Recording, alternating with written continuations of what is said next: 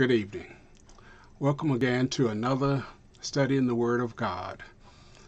From New Life Ministries Church, on behalf of the pastor and the membership, I come to you in the name of the Lord to share with you the thoughts that the Lord has placed on my heart that would encourage you and build you up so that you can walk in the fullness of the life that Jesus Christ has provided for us through His Word and by His Spirit.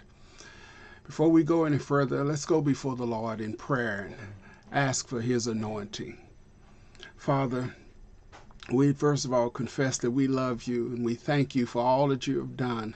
We confess that without you we're nothing. We give all the glory, the honor, and the praise to you because you are worthy to receive all glory, all honor, and all praise. We were created by you and we were created for your pleasure. We were created to do your will and to fulfill your desire for our life because it is only in that that we truly find life. You sent your Son, Jesus Christ, that we would have life and have it more abundantly. And we thank you for that. I ask as your humble servant that you would anoint these lips of clay, that I would be an oracle of your word and of your will to your people and that they will walk upright before you, and that the light that you've placed in us will so shine before men and women everywhere that they will see the good works and glorify you who are in heaven. We ask this in Jesus' sweet name. Thank you, Father. Amen. Amen. I'm going to ask you to go with me to um, the second epistle or letter of Peter to the church. Uh, we're going to start in chapter 3, verse 14. Uh, as you can see, our um, title today of our message is Let's Grow Up. I'm uh, I'm no longer 19, and every day I'm reminded of that in some fashion or another. Uh, I can't go as fast as I used to go. I don't think as well as I used to think and I can't lift what I used to lift. Are things that I just can't do. And I know some of you, you know, might have a problem with me confessing that.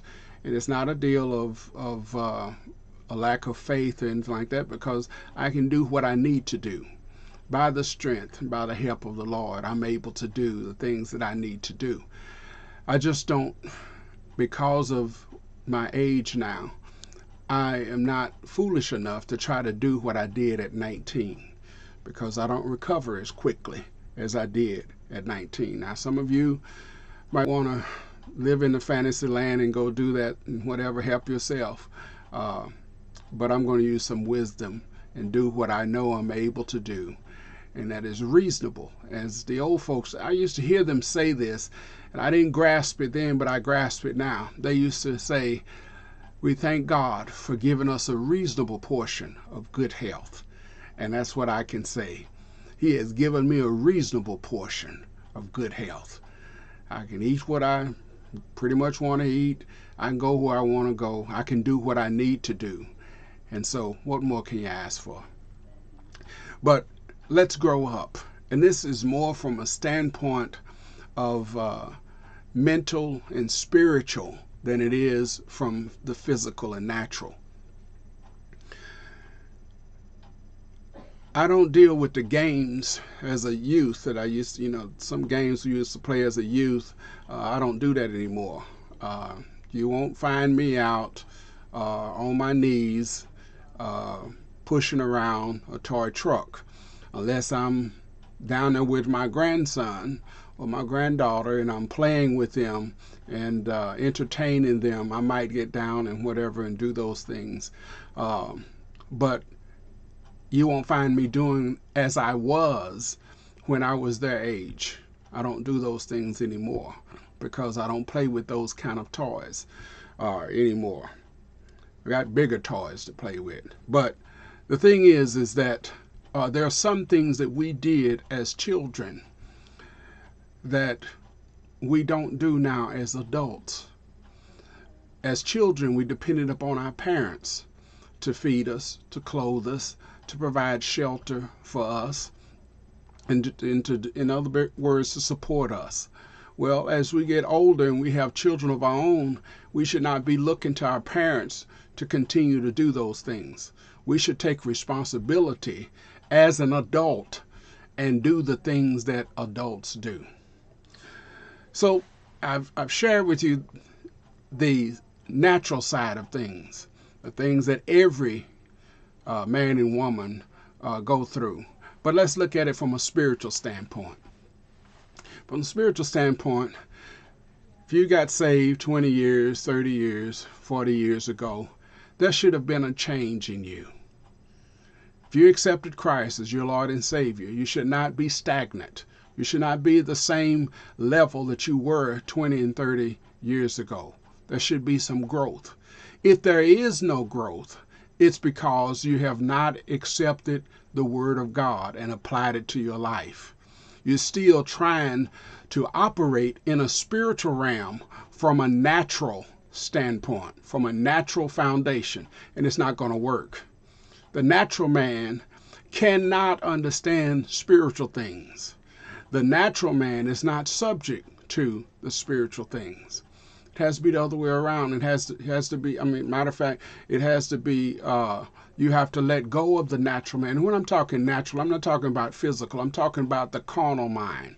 The carnal mind cannot be subject to the law of God. Romans 8 chapter tells us that. So, therefore, we need to reject that carnal mind and embrace the spiritual mind. The spiritual mind is based upon the Word of God, which comes from the mind of God. Now let's look at verse 14 of chapter 3 in 2 Peter. Therefore, beloved, looking forward to these things. What things? Well, you can read the previous verses when he's talking about the life that is to come, the, the new heavens and the new earth that is to come, that God is prepared for his people. So he says, therefore, beloved, looking forward to these things. Now, this right here, looking forward, not looking back. Too often we're looking back at what we did, what we didn't do, what we coulda, woulda, shoulda, and all that stuff. That's in the past. I have a, a brother that often says, turn the page. It's a new page, new day. Bishop Craig Johnson would say that, uh, new day, new page, turn it. So Likewise, I say to you, look forward.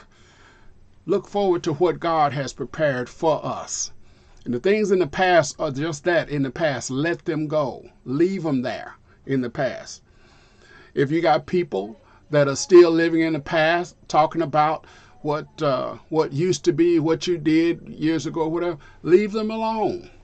Let them stay in the past.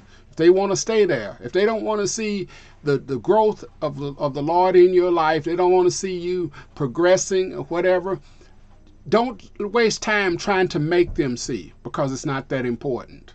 What's important is for you to follow the leading and guidance of the Holy Spirit and grow in grace. Let's read this.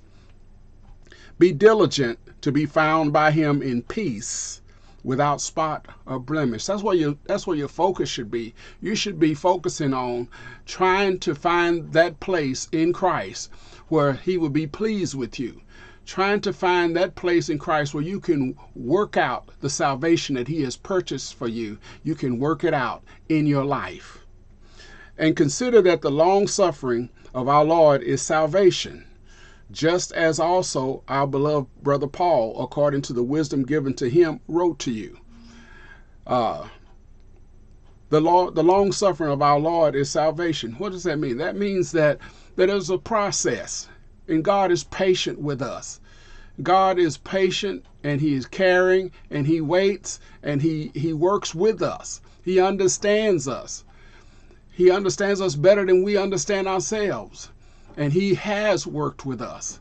So his his long suffering is salvation to us. Because if he treated us the way we treat one another or the way we've treated other people and all, he would have cut us off a long time ago.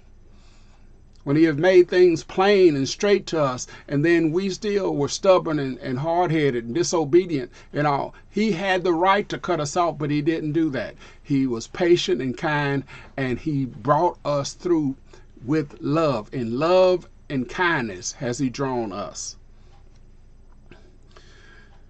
And Paul wrote this and, and said this also.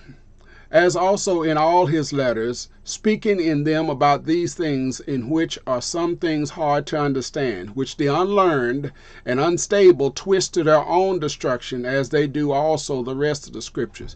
If somebody, I'm talking preachers and pastors, if you have folk that don't want to hear the word and whatever, don't lose sleep over it.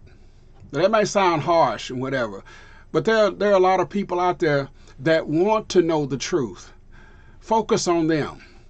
But folk who just want to have their own way and won't listen to to uh, any good teaching, any sound doctrine, you know, don't waste time. Pray for them, yes, but continue on, press on, and don't let them upset your day. Keep your focus on the Lord. Turn them over to the Lord because number one, pastors, they're not your sheep; they belong to the Lord. You're there to assist. You're there to do what the chief shepherd tells you to do. If you've done what the chief shepherd has told you to do, if you've fed them what the chief shepherd has told you to feed them, then you've done your job. Pray for them, give them to the Lord who they belong to, and you press on with the next order of business. Let's grow up. You therefore, beloved, knowing this beforehand, be on guard lest you also fall from your own steadfastness, being carried away by the error of the wicked. If you follow behind these folk that have already erred in their disobedience, they've already erred in their un, uh, not having faith, the lack of faith, and all, be careful because you can get caught up in that same mess, and before you know it, you have lost your fellowship with the Lord but grow in grace. Let's grow up. Grow in grace and in the knowledge of our Lord and Savior Jesus Christ. Now, why would he say grow in grace? Grace is unmerited favor. In other words, uh, you grow in showing mercy and kindness even to those who don't deserve it. You still show them mercy, you still show kindness to them. That's growing in grace. And you also are growing in grace when you recognize your shortcomings and your faults and you confess those to the Lord. Don't be a hypocrite. Don't don't try to act like everything is all good and you got it all down pat and you've arrived when you know that you haven't. Be honest with God. Be honest with uh, when the Holy Spirit points out a fault or a shortcoming. Be honest to confess it and say, Lord, yes, I blew it. I messed up. Forgive me. And he is faithful and just to forgive us of our sins and to cleanse us from all unrighteousness. But grow in grace and in the knowledge of our Lord and Savior Jesus Christ. This is how you learn about him. When you blow it and you go and you confess your sin and he forgives you and restores you and he takes that uh, particular struggle out of your way and all. You're learning about His power in your life. You're learning about His faithfulness in your life. You're learning about who He is. You've read about what He, uh, who He is, and what they have testified of. But then it becomes a reality in your life. So then you become a credible witness of who Jesus is. You become a credible witness of what Jesus can do. You become a credible witness of what He has given you.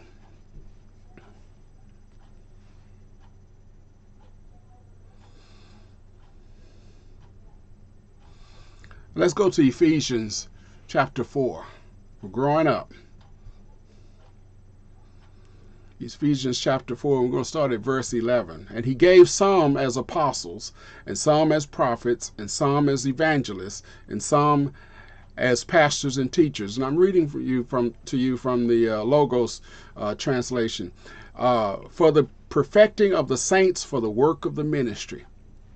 Christ gave us these particular offices or gifts uh, that operate in those offices, uh, in those those particular individuals that He has given to us, uh, for the perfecting of the saints. Your pastors there to perfect you. Your teaching elders are there to perfect you. The evangelist that comes around is there to perfect you. The prophet is there to perfect you, to help mature you. That's what it means, to help you grow up. The apostle is there to help you grow up. Now, the apostle the prophets and evangelists, those are gifts to the overall body. They're not they're not confined to one particular church. Whereas pastors and teachers are confined to individual churches.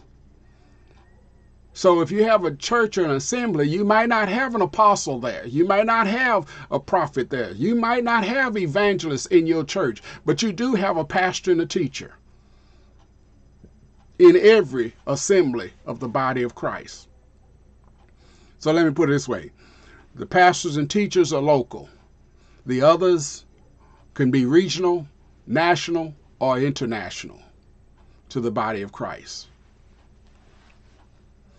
until we all arrive, this verse 13, to the unity of the faith and of the knowledge of the Son of God. Back to what Peter said grow in grace and in the knowledge of the Lord Jesus Christ. So until we arrive, it's for the maturing of the saints for the work of the ministry, for the building up of the body of Christ. Until this is an ongoing process. It's not something that happened uh, back in, in the first century AD and that's it. No, it is a continuing process until Christ returns. Until we all arrive to the unity of the faith and of the knowledge of the Son of God, to a mature man, to the measure of the stature of the fullness of Christ. And there's a reason behind this. The purpose behind this is that we may no longer be infants. Let's grow up being tossed as by waves and being carried about by every wind of doctrine. There should be some stability in your spiritual life, in your spiritual walk. There should be some foundation there. There should be some things that are non negotiable. You should be able to say, uh, okay, I'm open to this, open that, but not to this. This here is this here is foundational. And I'm not changing for anybody because this is what the Lord says we need to do and we need to and how we need to be. And you shouldn't change. In other words, let me put it like this. The word of God is given. And that should be set in our hearts and our minds. And we should never, ever move from what the Word of God has stated. Don't try to water it down. Don't try to compromise with the world to try to get them to accept the Word of God because if you compromise and it's watered down, it's not the Word of God. It was not the Word that came out of His mouth. It ceases to be the Word of God. The Scripture talks about the Word of God as being pure water. Well, water that is mixed with anything is no longer pure. It's water. Just like a word is a word, but it's no longer pure. And the word is no longer of God if it's mixed with something. We need to accept it just the way it is and be stable, established on that. That we may no longer, verse 14 again, that we may no longer be infants being tossed as by waves and being carried about by every wind of doctrine, by the trickery of men, by craftiness in regard to deceitful scheming. But speaking the truth in love. Now, this is the key about growing up. We may grow up in all things into Him who is the head of Christ. The key ingredient, the essential ingredient in growing up, if you're going to grow up healthy spiritually, there must be love. Without love in in those in that uh, uh, uh, nutrition in in in that that that uh, in the food that you receive that you're feeding, if love is not in there, you will not grow. It will stagnate you because love cares. Love looks out for what is best for the receiver, not what's best to the giver. Love is looking at, at what is what the receiver needs. How is it going to bring fruit of that receiver? When you love, you are planting with hope that it will bring forth fruit unto the Lord Jesus Christ. But if it's not in love, then all you want to do is show off how much you know. Or you want to control everything. You want to be in control. You want to dictate to folks how they're supposed to do and whatever. It's all about you. So that's not love. And you can't grow up. Have you ever, when you were a child, when you were a kid, did you ever uh, get involved with some kids who, every time you was gonna play a game, they had to be the ones in charge of the game. It had to be the game they wanted to play. If they didn't want to play the game, they weren't playing. You ever been experienced that? I have. And unfortunately, I see that in the church. If it's not part of the way I want it to be, then I'm not going to participate. You're not growing up. You're acting childish.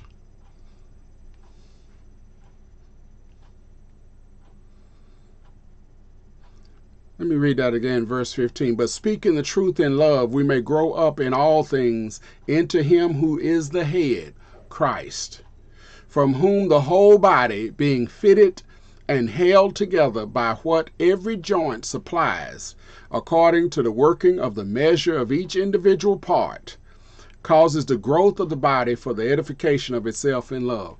In other words, everybody should stay in their own lane in other words, the lane that the Holy Spirit has placed you in the body of Christ. Grow there. Be nourished there. Don't try to, if, if, if God has placed you in the hand of the body of Christ, don't try to be the foot. Be the hand. God has placed you as an ear in the body of Christ. Don't try to be the eye. Be the ear. Be what God has has called you to be. And at the same time, don't try to tell other folk where they're supposed to be. You do what God called you to do. And let the Holy Spirit do his job. Because he knows how the body is supposed to be. You don't. According to the working of the measure of each individual part, causes the growth of the body, let's grow up, for the edification, the building up of itself in love. There's that word love.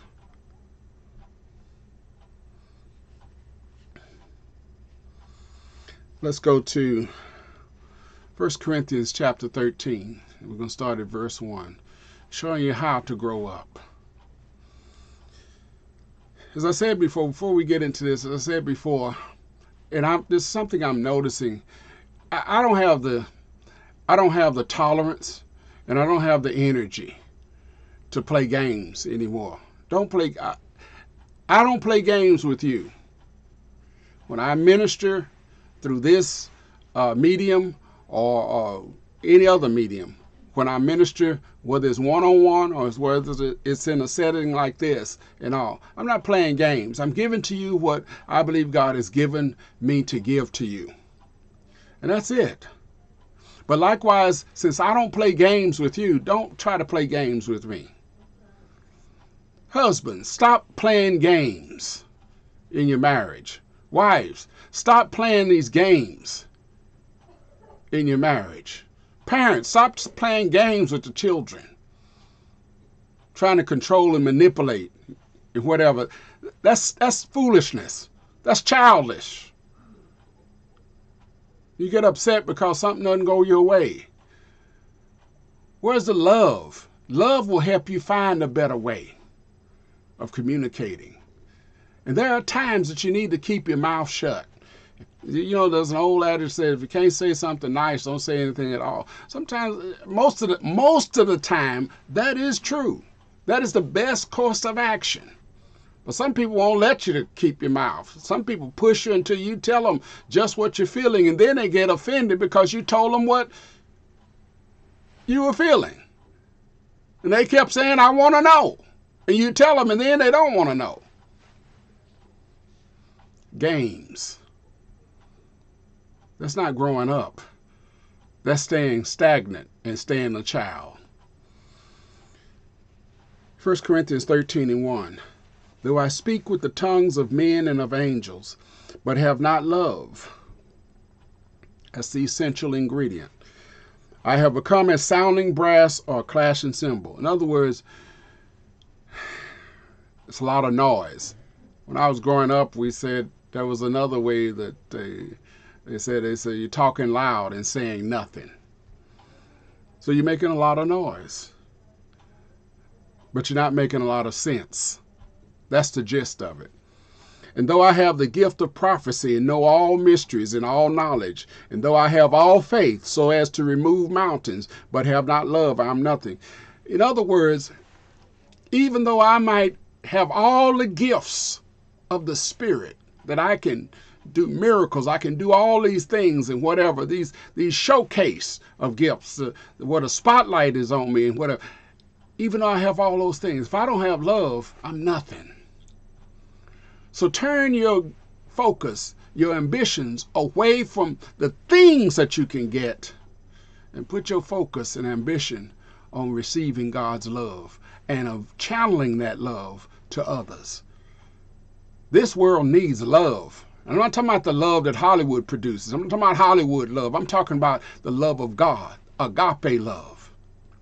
That's what that's that's the Greek word that's used here about love is agape love, and and the best translation, even though I'm not reading the translation uh, here, but the best best translation that, that that fits it to me personally is the King James version. It says uh, charity. It calls it charity. Doesn't say love. It says charity, and charity is a, a love or a way of giving, not expecting anything in return. So that's perfect. When you love not expecting anything in return, that's pure love. That's true love. Because all other love is done with an expectation of return. But God so loved the world that he gave his only begotten Son, that whosoever. In other words, whether you accepted him or not, God still gave him. Whether you received him or not, God still gave him because he's so loved. And that's what you do if you're really operating from love.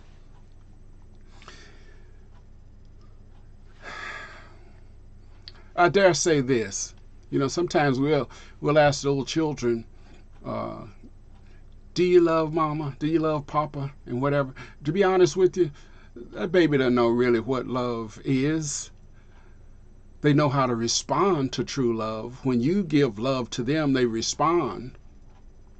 They they they embrace it, they entrust it, they begin to depend upon it. But they if you asked them what it really is, they couldn't really tell you. So they really don't have a, a conception of what a concept of what true love is. But as they grow older, and they mature as they grow up, then they're in a position to understand what true love is.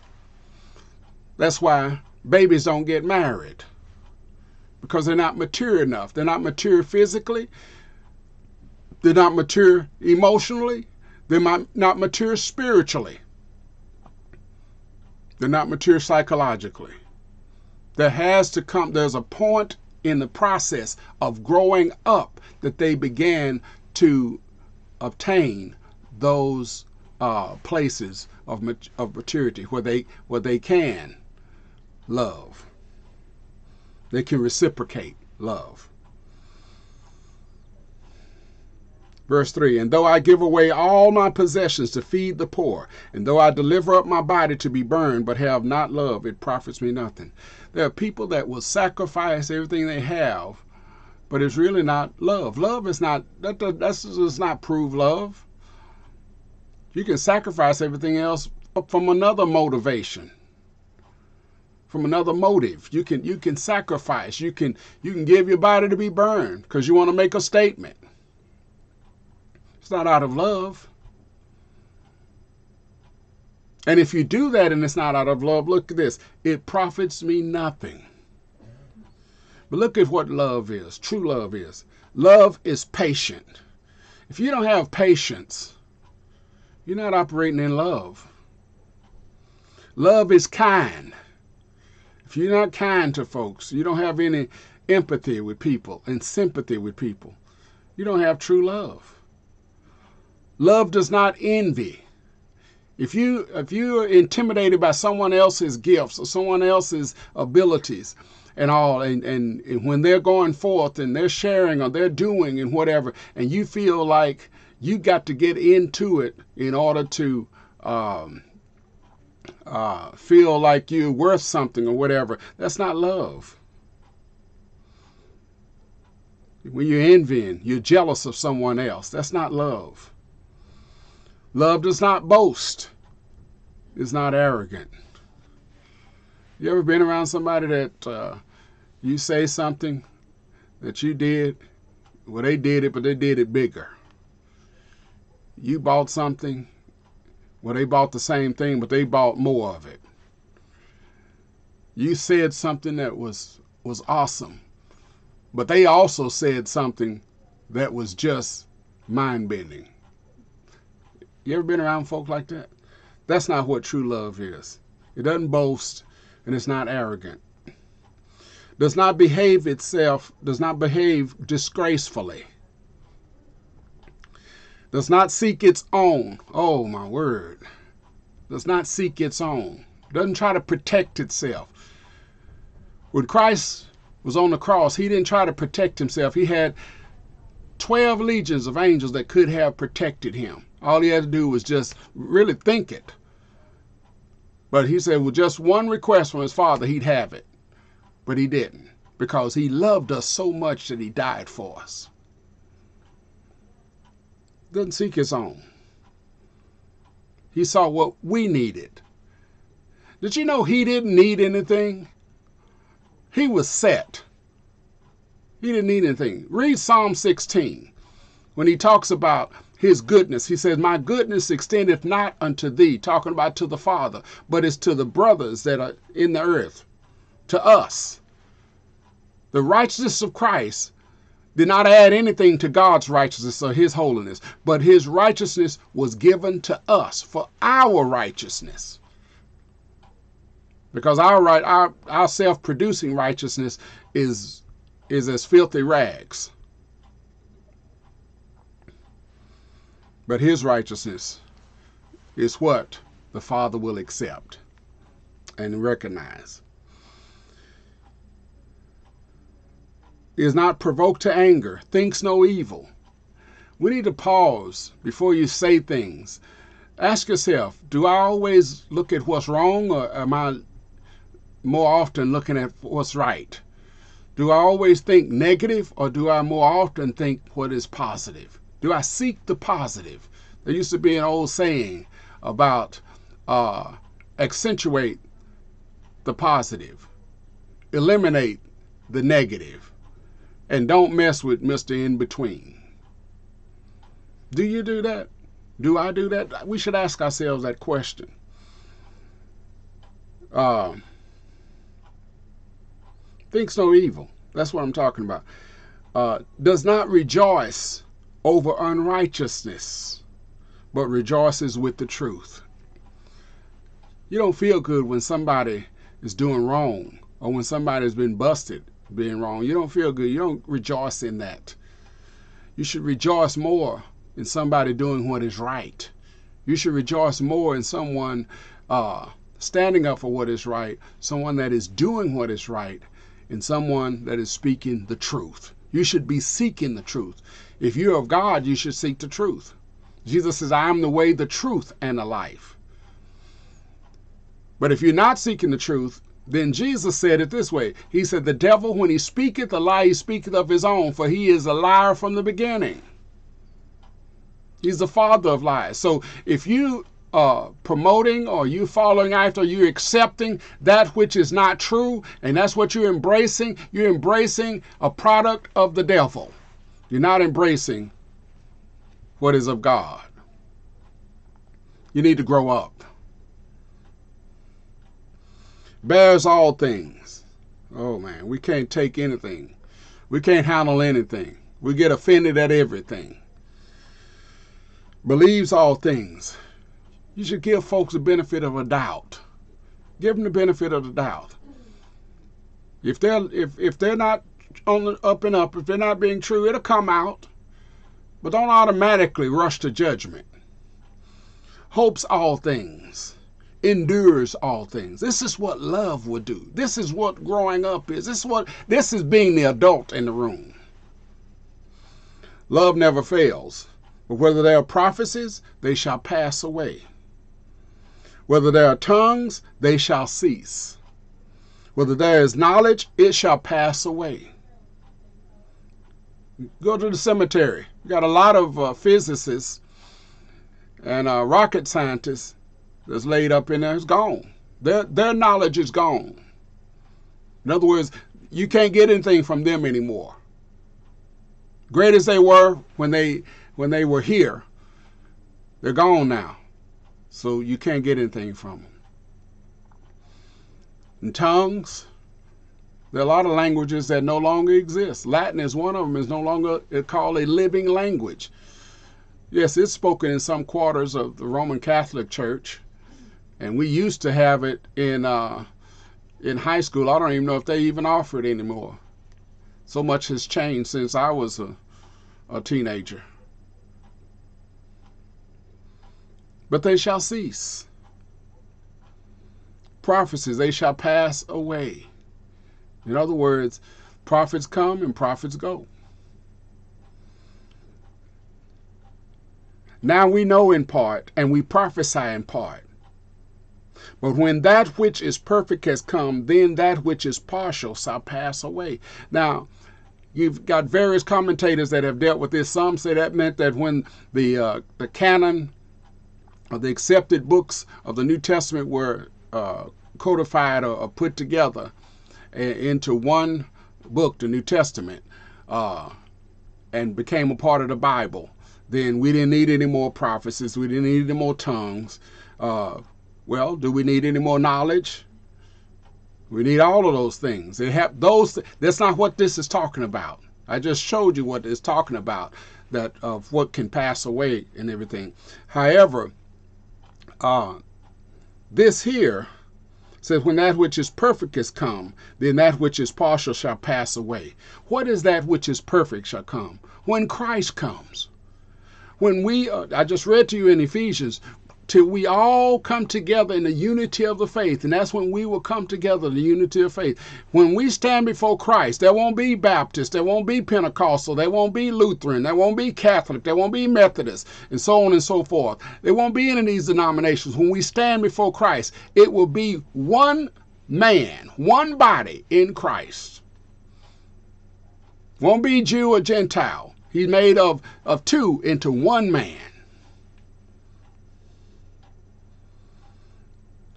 Then, verse 11, as we can see right there next to me. When I was a child, I spoke as a child, I thought as a child, I reasoned as a child. But when I became a man, I put away the things of the child. When I became a man, I put my marbles up when I became a man or a woman, when I became an adult, got rid of the jacks, don't play hopscotch anymore.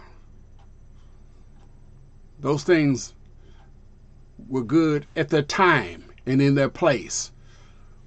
But I don't have to deal with that anymore.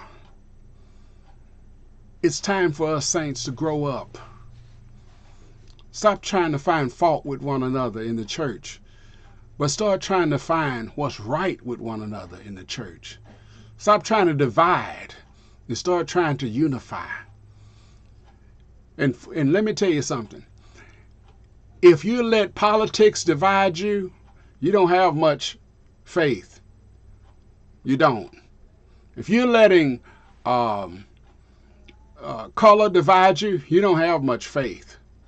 If you're letting uh, science, uh, uh, uh, what I want to say, the uh, financial uh, situations divide you, the haves and the have not, you don't have much faith because you look at the wrong thing. You're not looking at Christ. If you were to see Christ, you would see that we all are rich. More than what any money could buy.